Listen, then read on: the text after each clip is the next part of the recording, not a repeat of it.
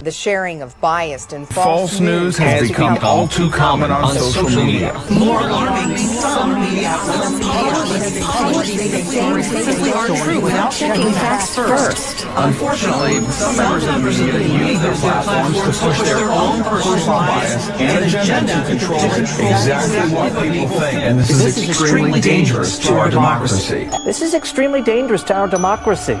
This is extremely dangerous to our democracy. This is extremely dangerous to our democracy. This is extremely dangerous to our democracy. This is extremely dangerous to our democracy. This is extremely dangerous to our democracy.